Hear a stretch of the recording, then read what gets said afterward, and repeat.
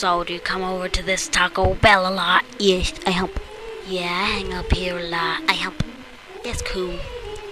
I carry their tacos, chupalupas, you know. I want to hump. Hey, not so close. I don't want to get humped. Why no hump? Because you're a dog. Maybe little hump? You know, I've got an AK 47 back here with a couple of banana clips too. No hump, no hump. No hump.